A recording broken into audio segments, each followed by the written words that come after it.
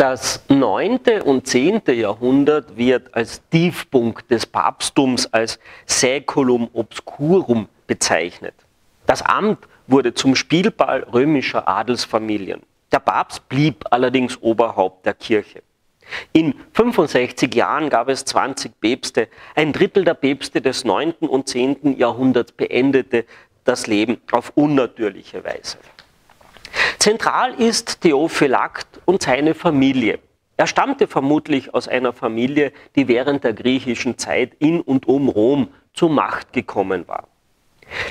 Sie vereinigte kuriale und städtische Positionen.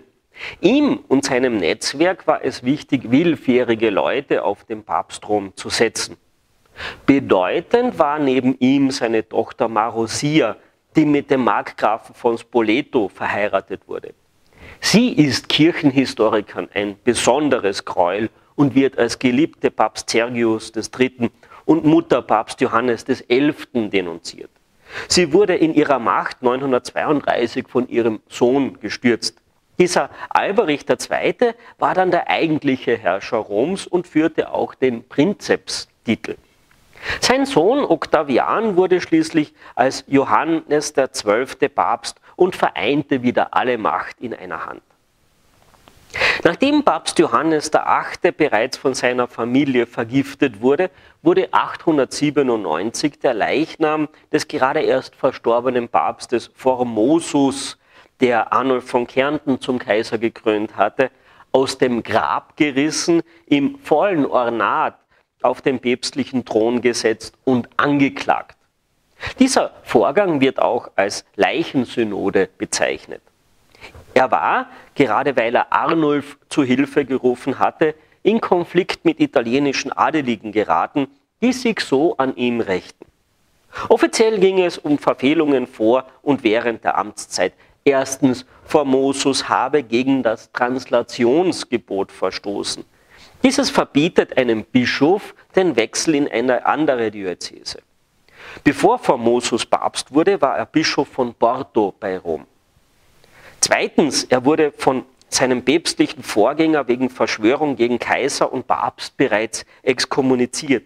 Und drittens leistete er einen Eid, nie wieder geistliche Ämter anzustreben. Wie beabsichtigt wurde Formosus in allen Punkten schuldig gesprochen und an der Schwurhand verstümmelt. Alle von Formosus gespendeten Wein wurden für nichtig erklärt. Davon profitierte wiederum vor allem der verantwortliche Papst Stephan VI., der ebenfalls schon zuvor von Formosus eingesetzter Bischof war und dessen Problem damit aus der Welt war. Formosus Anhänger haben daraufhin Papst Stephan VI. eingekehrt und eben dort erdrosselt. Damit war die Sache noch nicht erledigt.